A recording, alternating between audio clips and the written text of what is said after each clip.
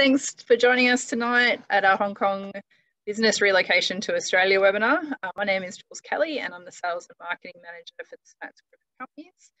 Tonight we are joined by Steve Douglas, the Executive Chairman of SMATS Group, and Simon DeVere, the Director of Migration Services at Stirling Henry Global Migration.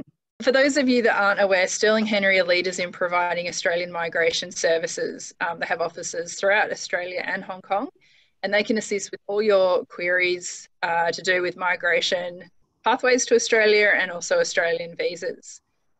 During the presentation, um, feel free to submit any questions that you have either in the chat room or the Q&A section, or you can email me directly at julie@smats.net. Um, and if we've got time, we'll answer them at the end of the seminar.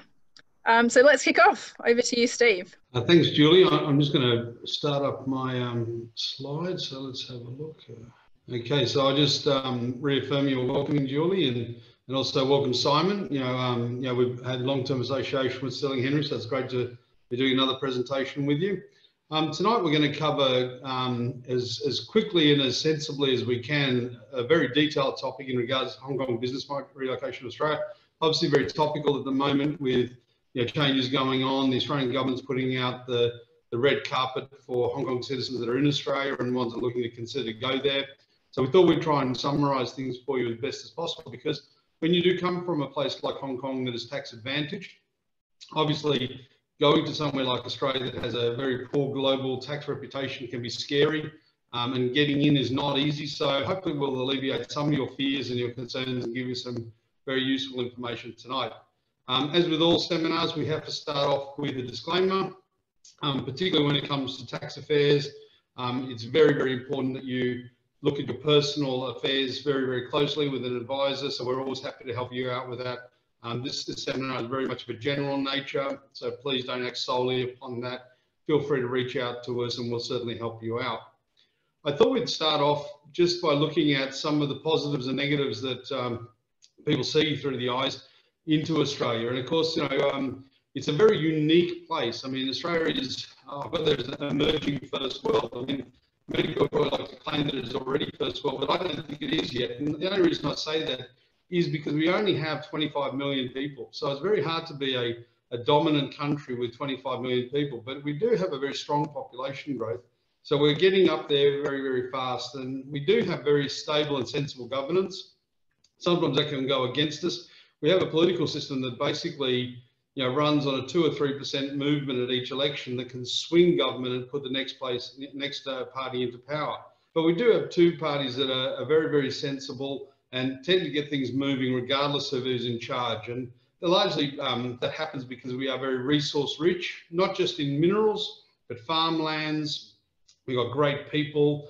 You know, we've got everything that anyone could possibly ask. I don't think there's any resource on the planet that doesn't exist in some way or form in Australia and usually in abundance. Things like iron ore right now is you know, covering up a lot of the weaknesses caused by COVID. Um, we've certainly got space and space is becoming more in demand in the world as we go along.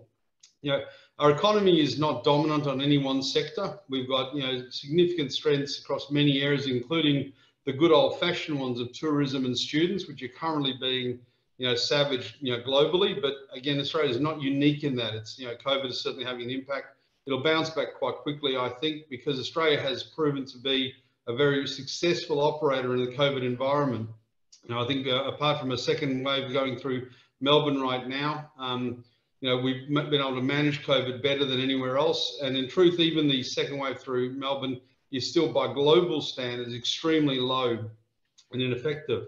Um, one of the things that we do have is a very dominant middle class, and, and that's you know one of the, the secrets to our success in Australia. You know, um, we're very much lifting everybody into you know the higher ground, um, and that's you know giving spending power and everything. We we actually have the highest you know average weekly earnings in the world, which if you're an employee is fantastic.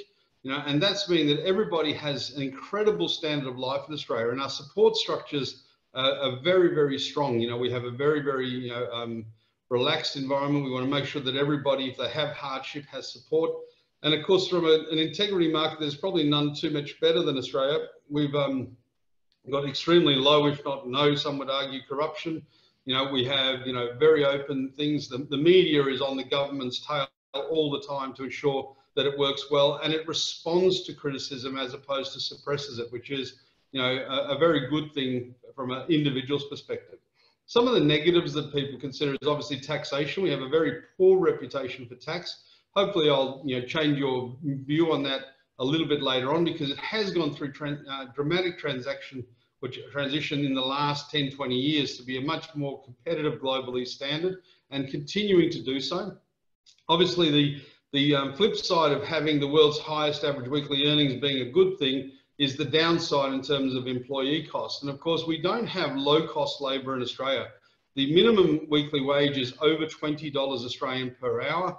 You know, we have very strong labour laws that ensure that you cannot abuse your employee.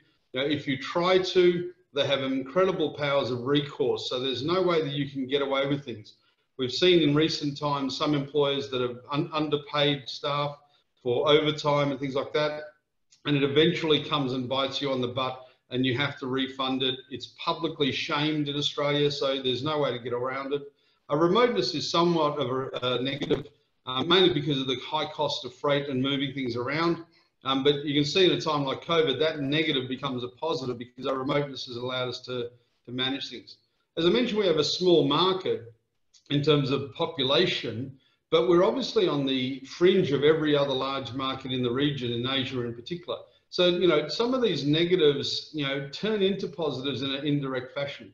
We very much have democratic socialist principles, and, and I, for one, am happy with that. And it just means that, like I say, everyone in need gets help. Everybody is considered equal. Everybody, you know, has, has equal opportunity. And that's a fantastic thing. So some places would consider those to be negative. I consider those to be positive, but I get a lot of feedback. People think, oh, that's not quite right. Believe me, if you were on the other side of the, the fence, you'd be happy that was the case. And our consumer and environmental protectionism is right up there as some of the best in the world. Yeah, but the one thing that will frustrate many people moving to Australia for business is that it is a very slow and expensive activity centre. You know, to get things done can be a nightmare, and the cost compared to what you'd be used to, particularly in Asia, can be extremely frustrating. But you just have to absorb that. You don't have any choice know, if you shop around, you'll find that everybody has similar sort of prices. Now, all of those things that are negatives actually create a very safe and sensible economy you know, that is usually growing. We've had over 25 years of continuous GDP growth in Australia. This is the first time we've gone into a recession in over 25 years. That's quite an incredible record. And again, we only went into a recessionary period because of COVID closing down the entire world. Our budget has been blown out. Our economy has slowed down dramatically and gone into negative growth. But by comparison to almost every other place on the planet, we're still looking in pretty good shape. So in that regards, some of those negatives are protective measures. They're frustrating for business, but they're great in terms of client pool, stability, and consistency. So not everything bad is totally bad. So you have to learn to adapt and uh, embrace those things because you cannot change it. It is not going to respect you regardless of how big your checkbook is and how dominant you want to be. You have to abide by the rules in Australia no matter what. So that's Australia in a snapshot from a business perspective. I'm going to hand over to Simon, who's just going to talk about some of the ways you can get into Australia through visa options. So I'll pass over to you, Simon.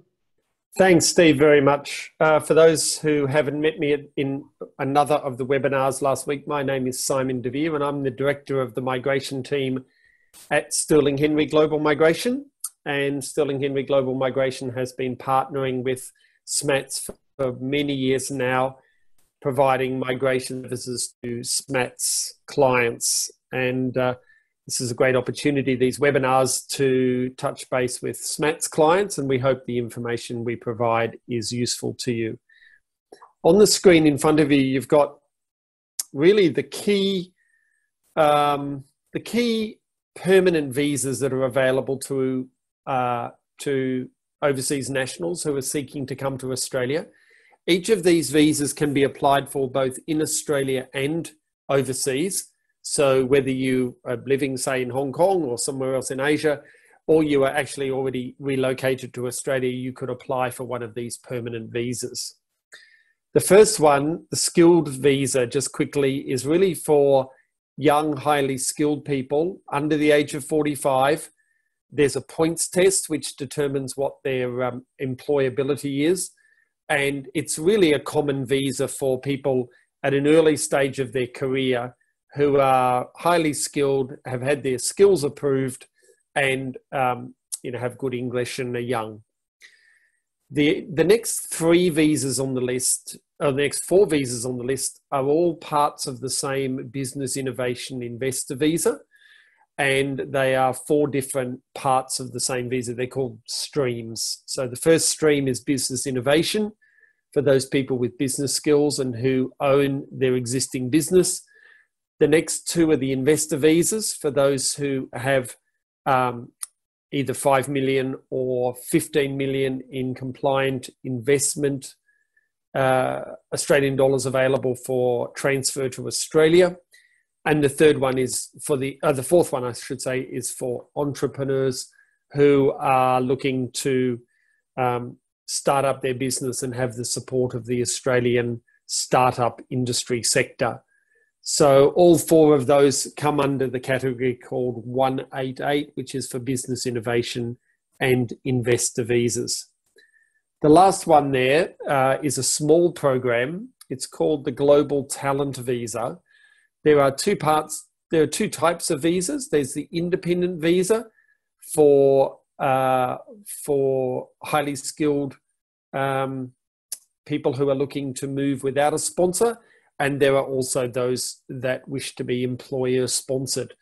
And if you were in a situation where you had an employer, or if you had a national body that could uh, support your application, you could um, you could proceed with the global talent visa. And it really is a special new visa which is designed to attract the most highly skilled individuals um, in their field often with a doctorate, um, or if not with a doctorate, then certainly a master's degree and a, uh, a high uh, a high reputation in their field.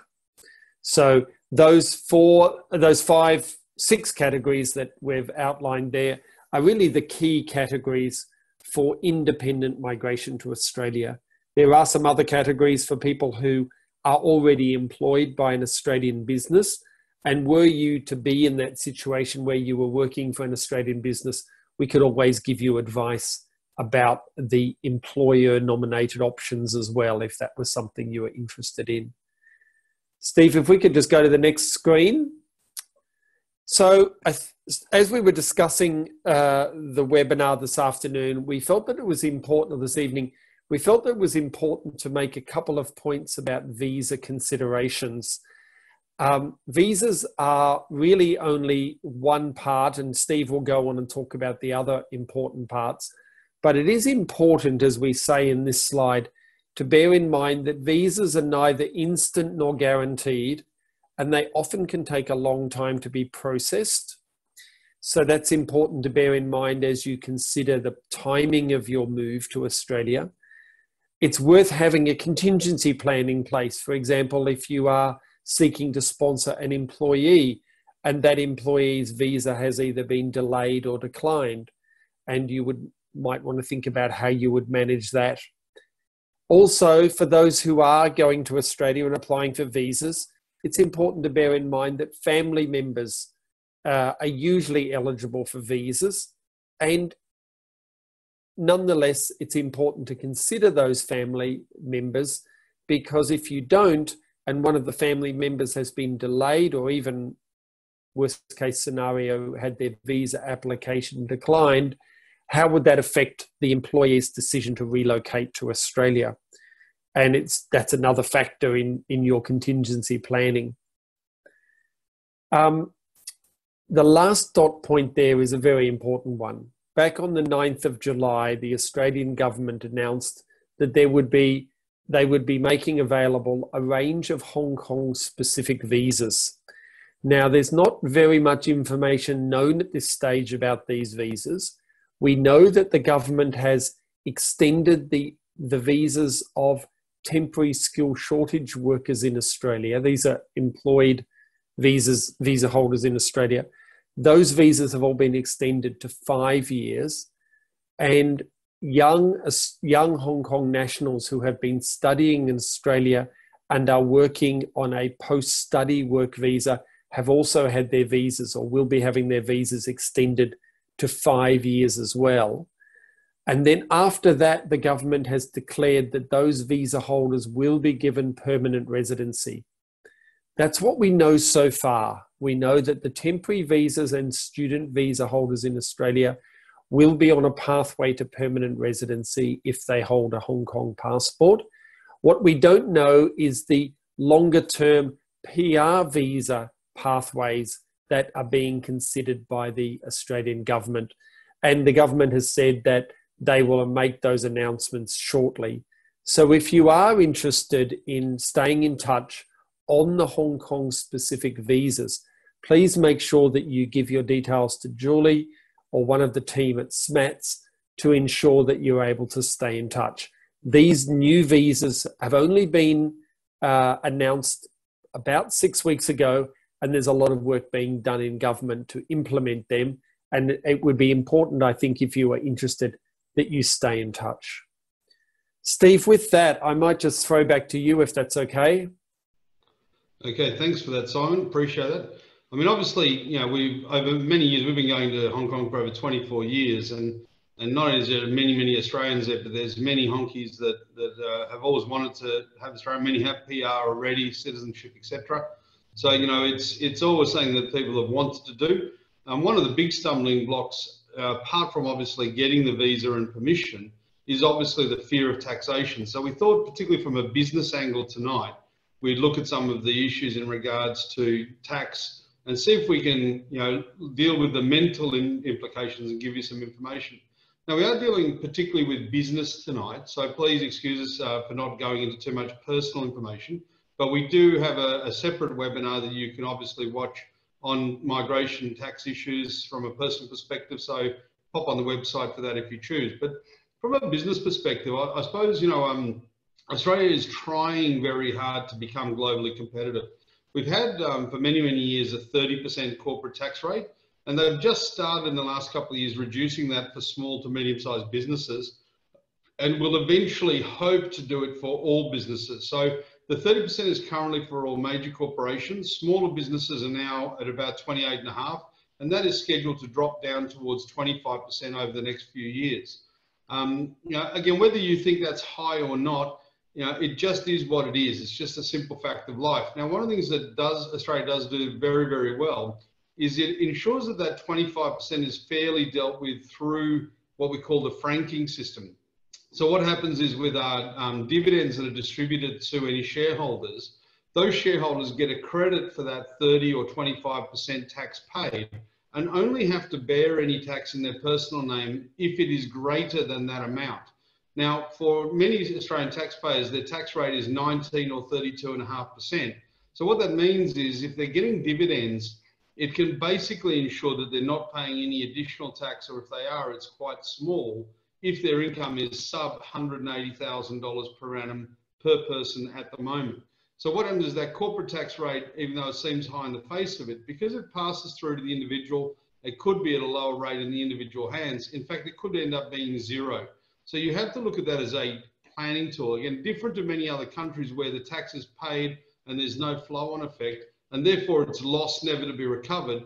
In Australia, it's not impossible to get some of that corporate tax rate back if you are an investor in retirement. So you want to look at that, particularly if it's your business, your company, where it's accumulating those franking credits. They could come back to you in part or in full at a later stage. So bear that in mind.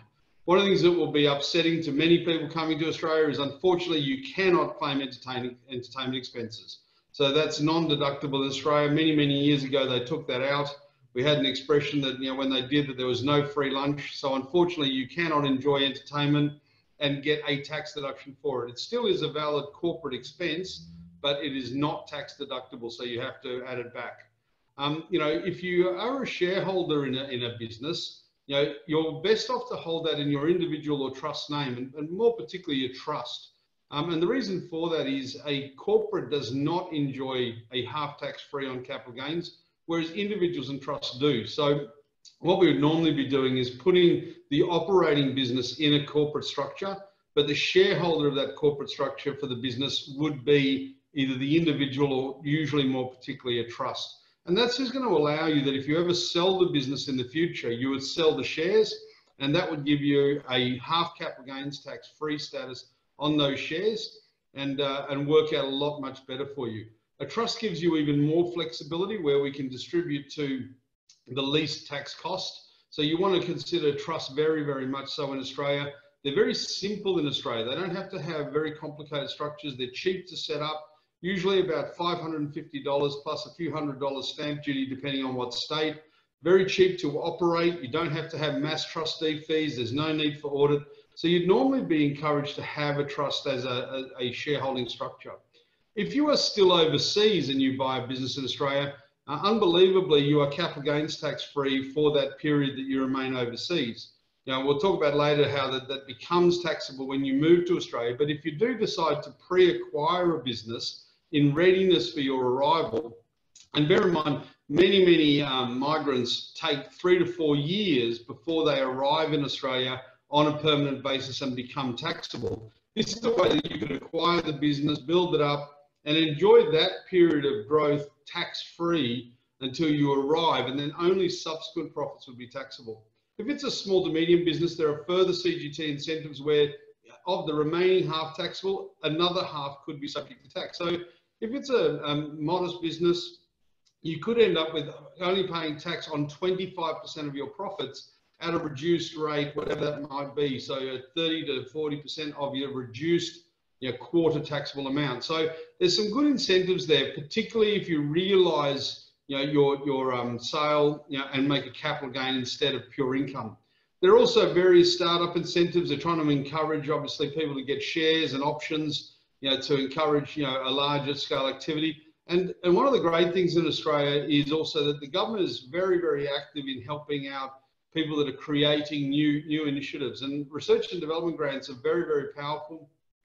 You can get up to 43.5% back of the cash that you spend on research and development each year.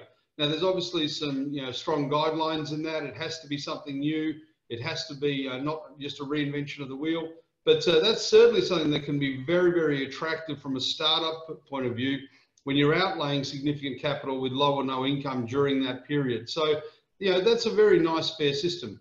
Now, the Australian government on both sides of the parliamentary fence have been very, very active in trying to encourage businesses over the years. You know, so there's usually a lot of government contracts out. There's usually incentives each year for capital expenditure or you know government you know uh, approved or, or you know, aims ex expenditure. So it's it's better than you think overall. But you just have to come to terms with you're going to be paying that 30 to 25 percent at corporate level, and then you've got 70 to 60 to 75 percent of either distributable or reinvestable funds. So just get used to it. In terms of planning issues, you know, um, probably the most important thing that I could ever say to anyone is, you know, the number one planning tool is make sure you plan. You know, the biggest mistake people make in Australia is just doing things without checking and then finding out that it has great tax consequence. For example, to get that 50% tax free on capital gains, the only condition is you have to own the asset more than 12 months.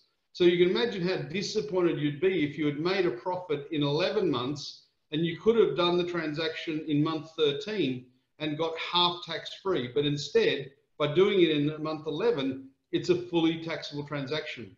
You need to be looking at what you think you'll achieve, what the tax implications would be, and make sure you're always considering it. Whatever you do, check before action. Now, this is a really big culture shift, particularly of people that are coming from Asia, where usually the tax implications are so low or none that you just do things and tell your accountant later. Now, in Australia, that is extremely dangerous. The personal income tax rates are as high as 47 cents in the dollar if your income is over $200,000. So if you just thought that it would have little or no tax, you might be unpleasantly surprised to find out that it's a lot bigger tax cost than thought. There's definitely no problem keeping your offshore businesses if you have them. And in fact, a lot of offshore businesses you know, are very beneficial to Australian branches that you might set up with trade, exporting, importing, you know, services, etc. So don't be worried about having an offshore business. You can certainly keep that. The key is that it must be genuine. Whatever you do, it has to have a genuine office with a genuine staff. The one thing in Australia that will not be very favourable for you is if you only have a shell company that's an investment holder.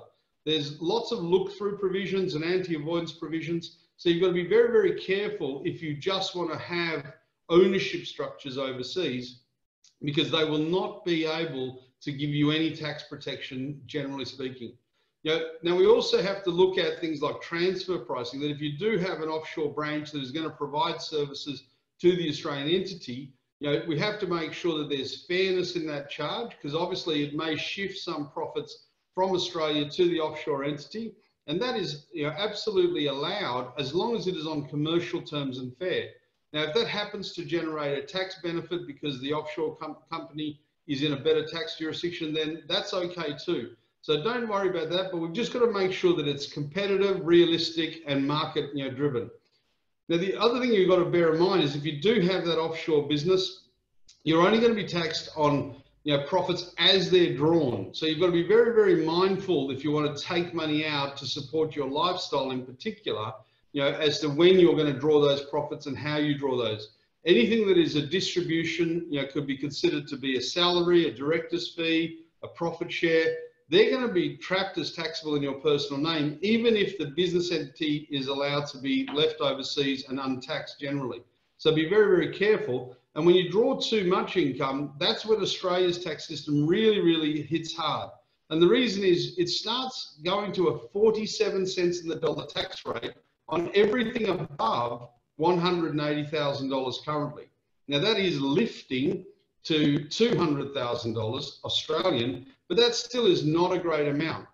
So if your income is more than those amounts, you've got to be careful not to voluntarily draw too much because you could be pushing yourself into a very high tax cost. And if you didn't need the money, then you'd be bearing tax when you could have left it in the company, paid a lower corporate rate, and had access to the funds to continue to grow and, and build on your business or investment.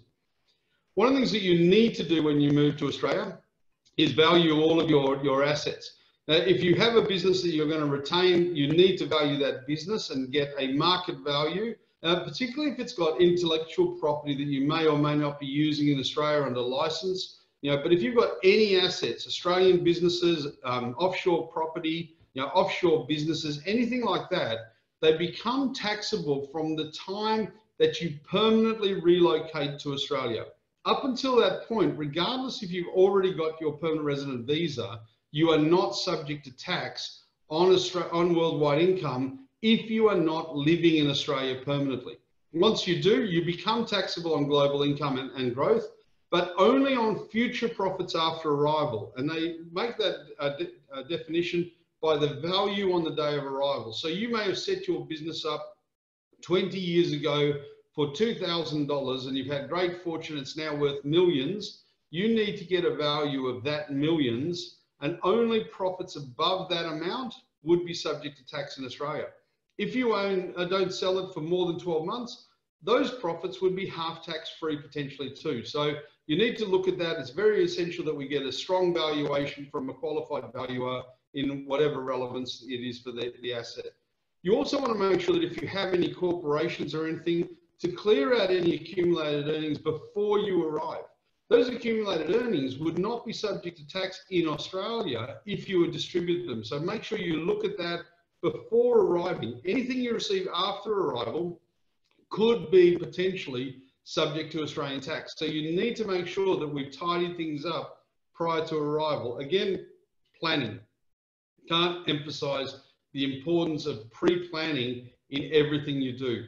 As I mentioned earlier, structures are basically essential in Australia. Having a corporate, you know, what that does allows you to uh, quarantine your tax rate at that current 28 and a half, moving to 25, you know, and then decide later how you may deal with the tax if you want to bring it out into your personal name, where you'd want to pull those profits out in a low income year to you because you may not end up paying much more than the 25 or 32 and a half personal tax rate at that time. So structures give you flexibility and let you manage your affairs in a much more favorable way. So they are really, really essential. And again, low cost, easy to operate, very low fees, and, and simple. So have no fear in using Australian structures. The one mistake that a lot of people think is that they can hide assets overseas when living in Australia. That is impossible. In the modern age, all the governments have got you know um, cross information going. They're grabbing tax IDs on every bank account. They're identifying assets all over. You know, you saw just recently even all the Panama files, where in allegedly safe havens, governments now have so much power and jurisdiction that they can find out information one way or another. So do not pretend that you can hide things overseas. The truth is they're not taxable in, uh, on past profits anyways. So declaring them, factoring them into the planning makes your life safer and more protected. And you might not be protecting yourself against anything by not declaring because it's only growth in the future that would be subject to tax. You know, you need to establish your residency very clearly because that is the day you become, uh, you know, taxable. And as mentioned, your visa is not the catalyst of taxation. So you can rest assured that if you go to Simon, get your visa, have it there um, issued, that is not going to make you taxable in any way, shape, or form. What will make you taxable is when you exercise your rights under that visa to permanently relocate to Australia. That is when tax point begins. So just bear that in mind and work your way over a period of time to do that. Once you're in Australia, one of the key things you want to remember is to minimize private debt. Business debt, investment debt is welcomed. It's tax deductible, it's effective, it's profitable. Don't be afraid to have that. But please reduce any private debt when you can. And this is one of the reasons why we'd want you to access any profits in your offshore business look at what your salary requirement is, minimize your private costs so you have a minimum requirement to draw an income from your business so that you can maximize your tax benefits through not needing to extract capital or cash. And probably the, the most important change of thinking when you go down to Australia, which is essential in your tax planning overthought, is understanding that you're not going to Australia as a financial decision. No one in my 25 years of doing this has ever come to me and said, Steve, I'm going to Australia to make my fortune. No one. But people do come to me and say, Steve, I've got my small fortune and Australia is the best place for me to enjoy that. So what happens is it's a very different scenario. It's not there that you're going to go and create. It's tough to build a fortune in Australia. But by golly, there's, there's sums of money that people have just from the sale of a Hong Kong property put you in the higher echelons of wealth in Australia almost instantly. Now, with that comes the opportunity to say, well, should I open a business? Do I keep my overseas business? Is it worthwhile? And believe me, when you look at the entirety of the tax cost versus the cost of your accommodations, the cost of living, the cost of living a higher than expected lifestyle, Australia stacks up extremely well in that regard. So you have to reprogram your mind to understand that it's the entirety, not just the tax implication, that is essential to look at. And if you've got some funding to build a business, retain a business overseas, and let it grow and prosper cross border or in Australia, then tax will only be a consequence, not a problem to you in the future. So hopefully that gives you a little bit of an idea of some of the things to consider again, you know, if you've got particular um, issues, we're always happy to help you with them, both from a psychological and a financial.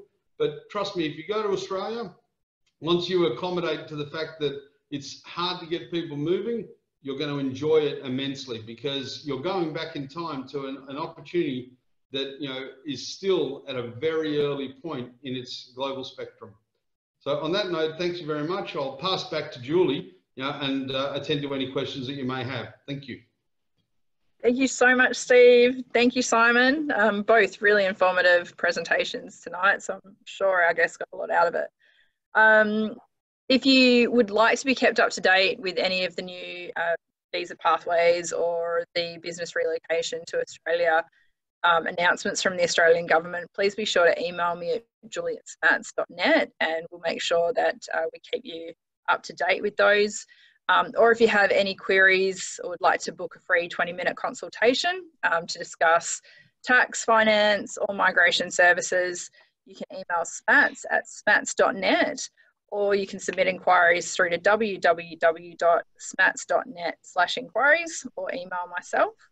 Um, but thank you for everyone that has joined us tonight. Thanks again to Steve and Simon for a wonderful presentation. Um, and we'll be emailing out a copy of the webinar very shortly. Thank you. Have a great evening. Thanks, everybody. Bye-bye. Bye. All the best, everybody. Thanks.